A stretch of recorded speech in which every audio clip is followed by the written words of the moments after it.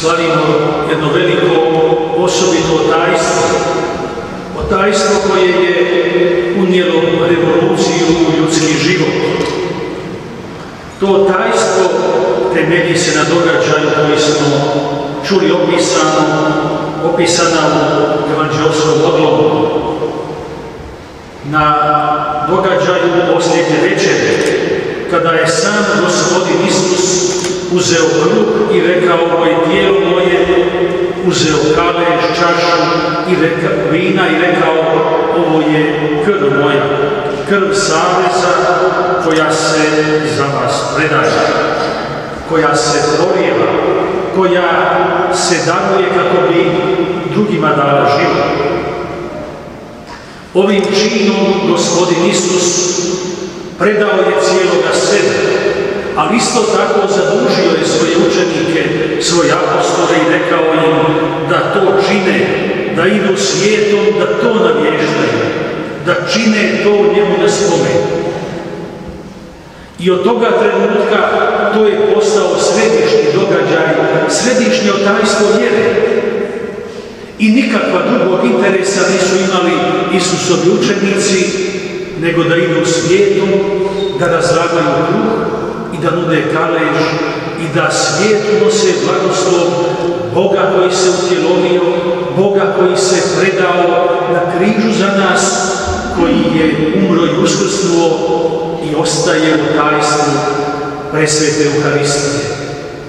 I stoga crkvi nikada nije bio nikakav drugi interes nego da svijetu dadu Boga, da mu dadu taj krug života, da mu dadu ovu čašu koja nam daruje život, koja nam ispire grijehe, koja nam daje trajnu radost.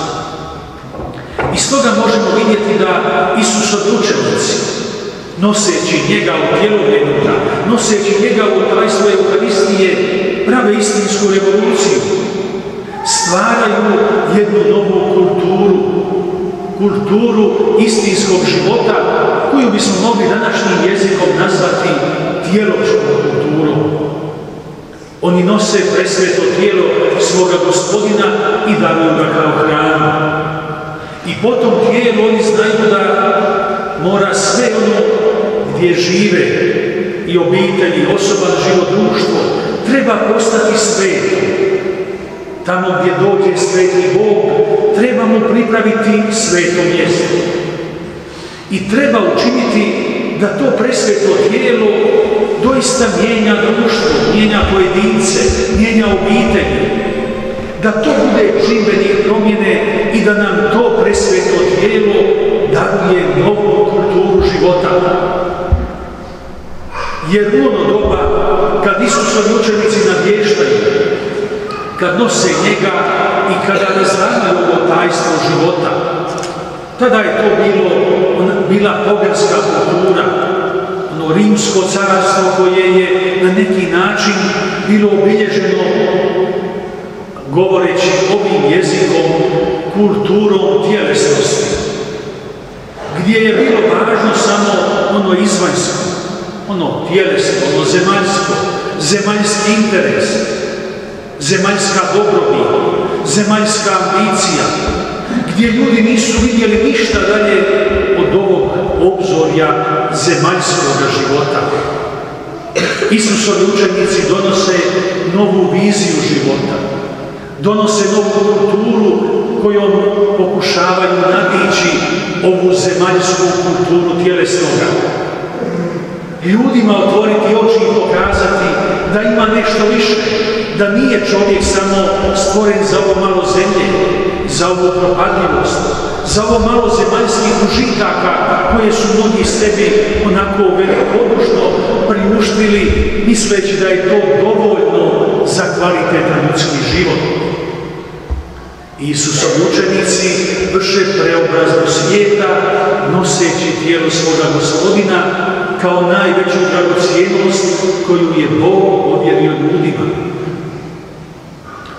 Tom dragocijenošću oni su izvršili preobrazak. Od onog bogatskog svijeta u kojem su živjeli, taj svijet su pretvorili u svijet koji se klanjao Kristu gospodinu, u kršćanski svijet u kojem su oni promicali one istinske prave vrijednosti, vrijednosti dostojne i Boga i čovjeka, vrijednosti dostojne ne samo zemaljskog nego i nebeskog života za koji nas je Bog stvorio.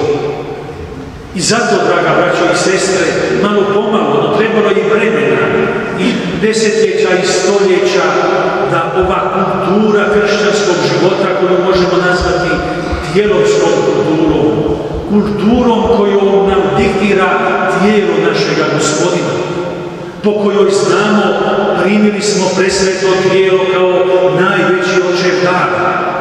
Od tog trenutka nemamo pravo biti samo ljudi. Primitkom ovog dana mi smo pozvani na nebeski život. Mi smo pozvani ovdje biti djeca Božja. Mi smo pozvani živjeti dostojno ovog svetog dana. I to je ono što kršćane čini kršćanima kada se klanjaju Kristu djelovljenome, kada paze na svoj život, na svoje ponašanje, na čistoću svoga duha i svoga tijela. Zašto? Poradi Krista kojega primaju u Euharistiji i koji njihovim životima daje novu dimenziju, koji njihovim tijelima daje besmrtnost. I to je bila ona istinska preobrazba koju je Krist izvršio i na koju nas Krist i danas poziva preobrazba da se maknemo iz kulture tjelesnoga, koja i danas i na mala i na velika vrata ulazi u naše živote. I nije istina da živimo i danas ponovno u jednoj takvoj poganskoj kulturi tjelesnoga, gdje se obožava, štuje, klanja samo ono što je ljudsko, tjelesno, izvanjsko. I kad promatram onda i kad vidimo oko sebe takvu kulturu koja se potom očituje onda do onih sitnih detaljima. Dovoljno je proći gradom i vidjeti kako se ljudi odjevaju, kako se ponašaju, kako blaguju, kako jedu i piju. Dovoljno je to pa da vidimo žive li oni istinski od Kristove tijelovske kulture ili žive samo za ovu zemaljsku kulturu tjelesnoga.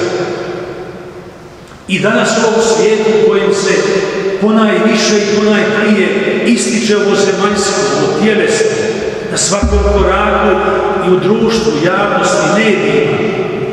Uglavnom smo bombardirani takvom kulturom tjelesnoga, gdje nam sve želi zarobiti i osjetila i duh, i tijelo, i misli, i život. Da nas zarobi i porobi nam duše, da budemo žrtve takve kulture u kojoj sami počinjemo da i promatrati, željeti, sanjati, misliti samo na ovo što je zemaljsko, na ovo površno, na ono što može biti zavodivo, primamljivo, lijepo, može biti zabavno. I sebi onda priuštimo živjeti od te kulture tjelesnika zaboravljajući da nas Bog nije stvorio za tu kulturu. Bog nas je stvorio za djeločnu kulturu. Bog je naše biće, naša tijela, naše duše stvorio da budu prihvatilište njegova sina, da živimo istinski za taj trenutak susreta, trenutak primanja Kristova tijela u kojem možemo sve to pobožno i čisto primiti.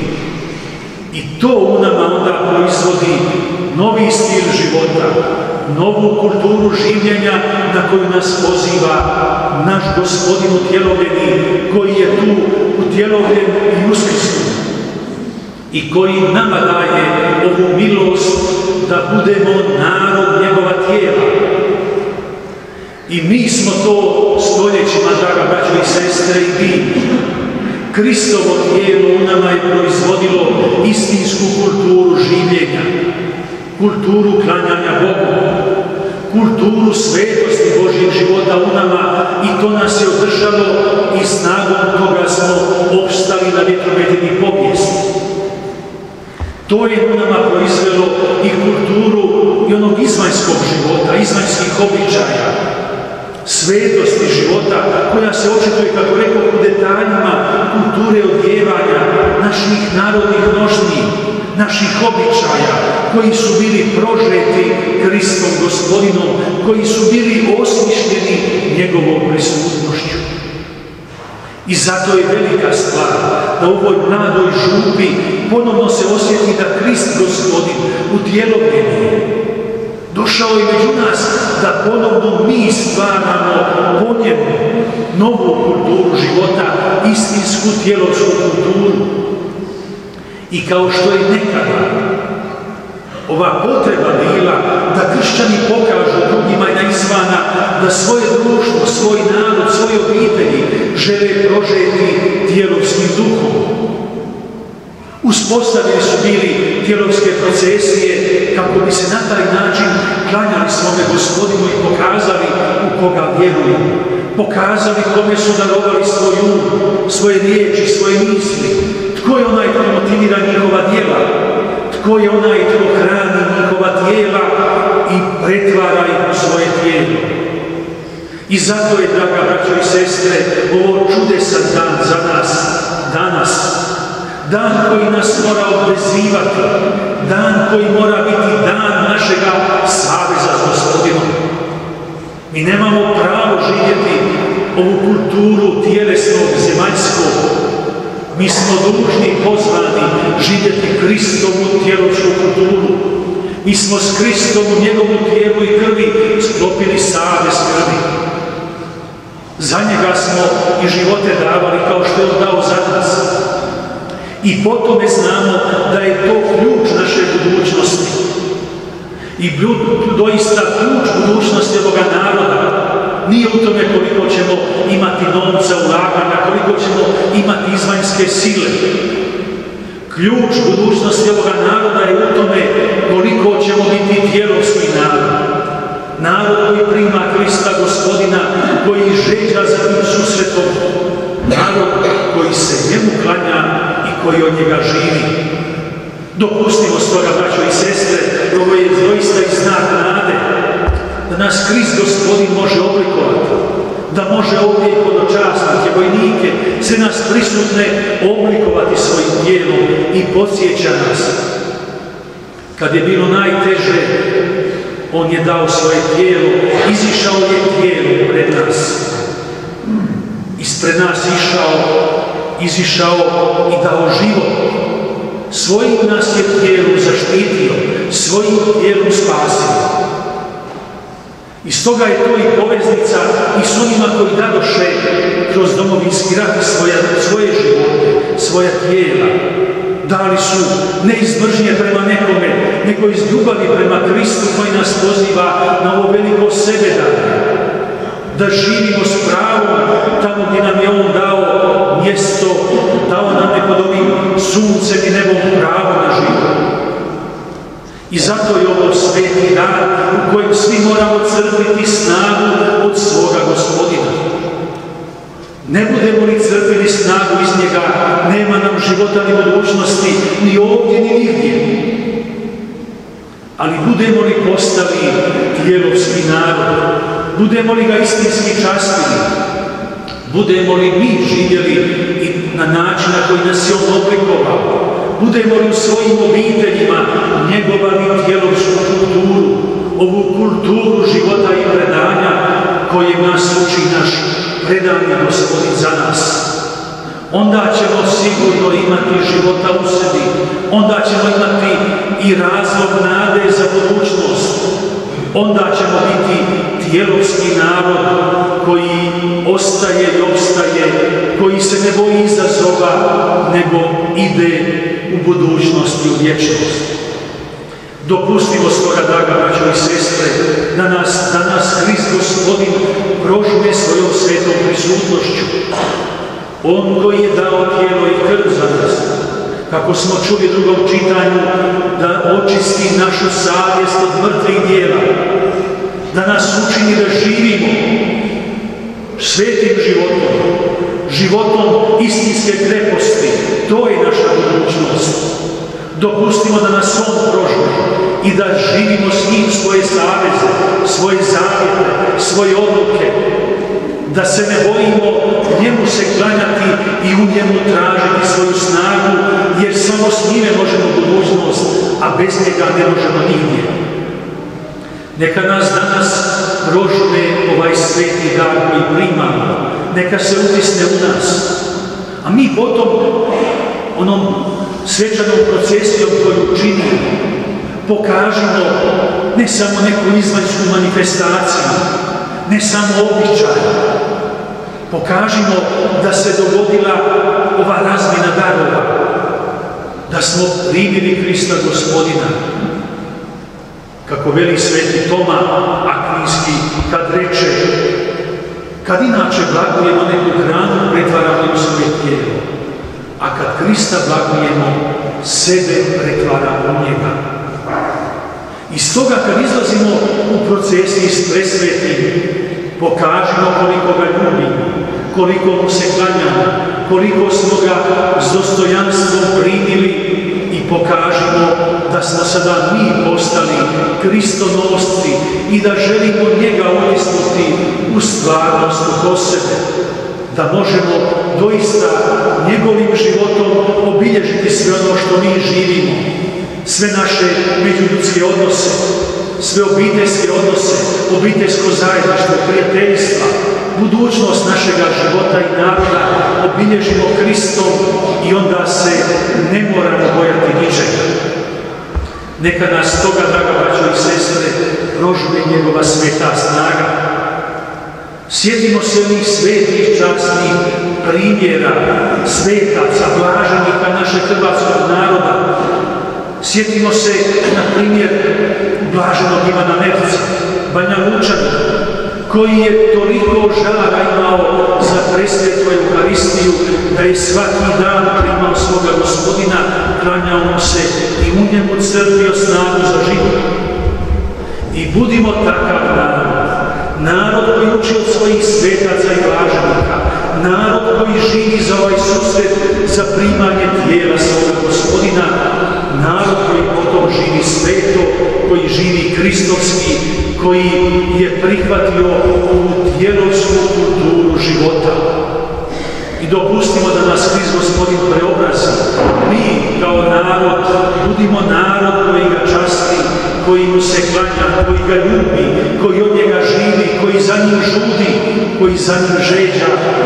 I tada ćemo biti istinski narod.